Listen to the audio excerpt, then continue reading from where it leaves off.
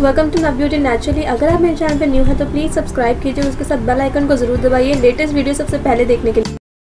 Hello friends आज मैं आपको रिव्यू दूँगी कि कैसे अपने फेस से टैनिंग को हटा सकते हैं और इम्प्योरिटीज़ को निकाल सकते हैं। अपना चेहरा बिल्कुल साफ़ सुथरा क्लीन बना सकते हैं और गोरा भी। सो so, ये पोल्यूशन फ्री पोन्स का है। चारकोल एक्टिवेटेड चारकोल वाला face wash you can see और आपकी स्किन में बहुत सारी इम्प्योरिटीज़ होती है। जिससे ये फेस वॉश आपको बचा सकता है। आप देखिए, इसको आगे नेक पे और पीछे बैक पे भी अप्लाई करना चाहिए। जो छोटे छोटे दाने हो जाते हैं गर्मी में, वो भी इससे नहीं होंगे। सो ये आप देख सकते हैं, ला सकते हैं अपने घर पे। हमारी स्किन डेली पॉल्यूशन के लिए पॉल्यूशन के साथ एक्सपोज होती है जिसकी वजह से हमारी स्किन डैमेज हो जाती है हर रोज़।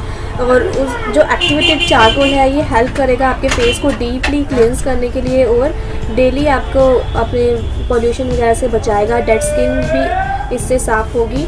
सो so, आप इसको ऐसे पाम में लेंगे थोड़ा सा और थोड़ा सा पानी लेकर आऊँगी मैं और ऐसे मिक्स कर लूँगी। अभी मैं पानी लेकर आई हूँ वाटर नॉर्मल वाटर लिया है।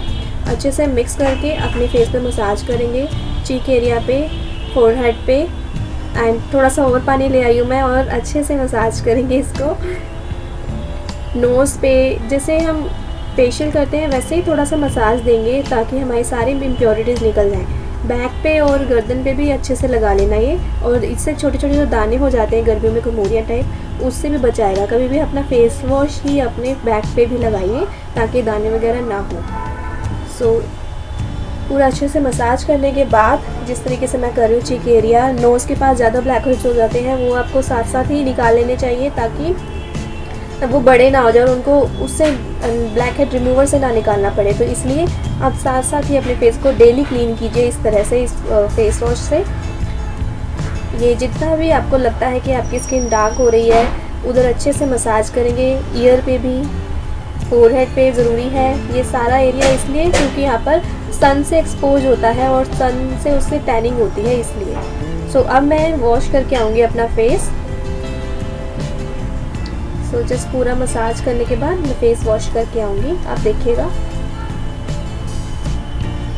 सो so, मैंने एडिटिंग कोई भी नहीं की वीडियो में ताकि आपको पता चलेगी कि पूरी मसाज कैसे करनी है।